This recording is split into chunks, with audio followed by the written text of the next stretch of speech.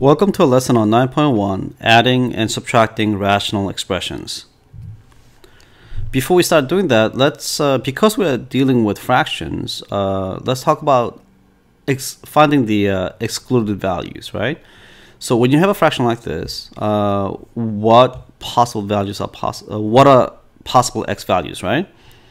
But we also know that the when you have a fraction, you can't have a zero in the denominator. So when we set the denominator equal to zero, we know that x can't be 1. Otherwise, the uh, there's no value associated with it because it'll be undefined. So we, if we were to simplify this going forward like this, uh, we could factor the numerator, and then we could see that the 1 minus x and x minus 1 cancels, but that become negative 1, right?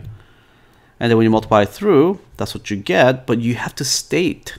So this expression, this fraction, is equivalent to negative of x plus 1 as long as x is not 1. So we always have to be aware of the restrictions of the domain value, and we call that the excluded, excluded values.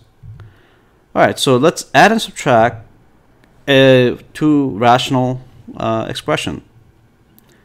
But before we do that, let's look at some parallel case of, you know, adding just fractional numbers, all right? If you have 1 half plus 1 third, uh, we're supposed to have a common denominator. To make that happen, uh, our LCM is 6. So the, on the left fraction, I multiply by 3 over 3. On the right, 2 over 2. And we transform 1 half plus 1 third into 3 over 6 plus 2 sixths. The values are equivalent except that we just express it with common denominator of 6 and then we add across the numerator which gives you 5 sixths. So if you were to do that with this example, what would you need to do? Well, first of all, we need a common denominator, but the or, LCM, least common multiple of the denominators. But in order to do that, I need to know the factors, right? So we need to factor it first. So x squared is already is in a factored form, this x squared, and the, the right hand side is x times x plus 1. So what would you have to do to make these two identical? In the first one, we would need x plus 1. In the second one, we would need x, right? So when you multiply the denominators like this, you will know that it's x squared times x plus 1, and the right hand side is the same thing, x squared times x plus 1, right? So that we know that we have common denominators. So we expand out the numerators of each respective numerators with uh, the new multiplications. So when you have x squared plus x plus 2 times x plus 1, you get this expression right here, right? Uh, x cubed all the way to 2 right here, right? And then the second numerator is x squared times x gives you x cubed. So if you add all the like terms, that 2, that's x squared, x squared, and that's 2x and x, and x cubed and x cubed, right? When you combine all that, we end up with 2x cubed plus 2x squared plus 3x plus 2, everything divided by x squared times x plus 1. But we talked about the uh, excluded values, right? So the denominator cannot be 0, and denominator is equal to 0 when x equal to 0 or x is negative 1, right? So we had to write that down.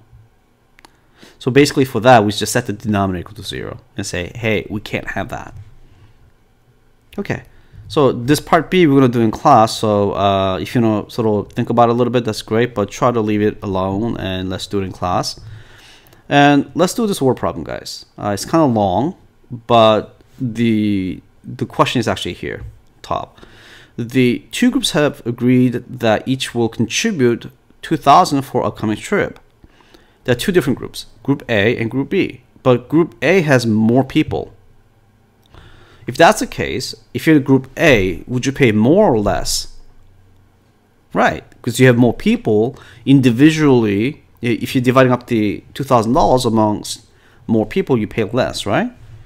If you let X be equal to the number of people in A, then B must be there. There must be less people, right? By 6. So the number of people there is x minus 6.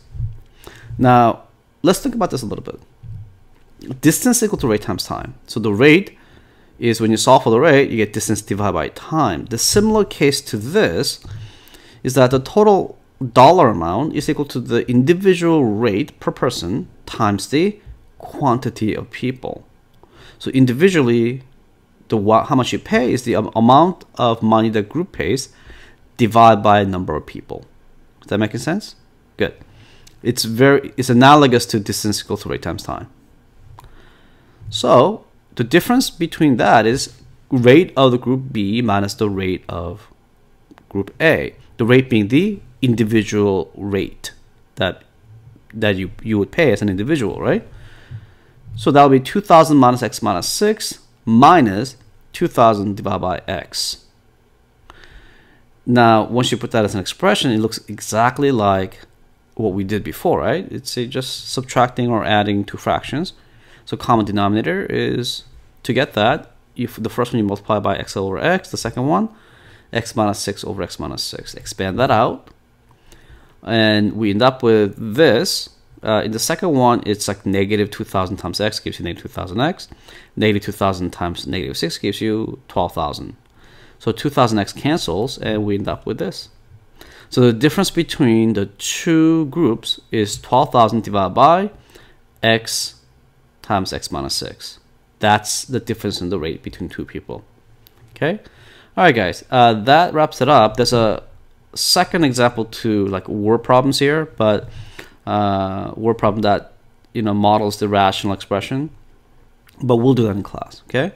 All right, guys. Have a good night. I'll see you in class.